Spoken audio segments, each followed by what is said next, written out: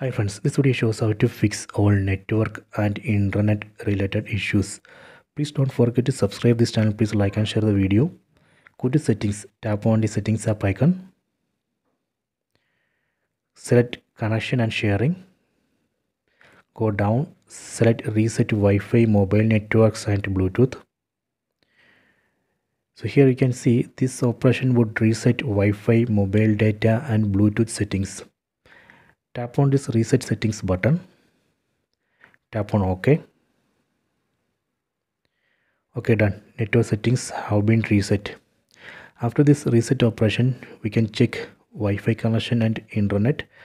That should work. So this way we can reset uh, network settings and fix all network mobile data and internet related issues. Okay so i hope you have enjoyed this video please subscribe this channel. Please like and share the video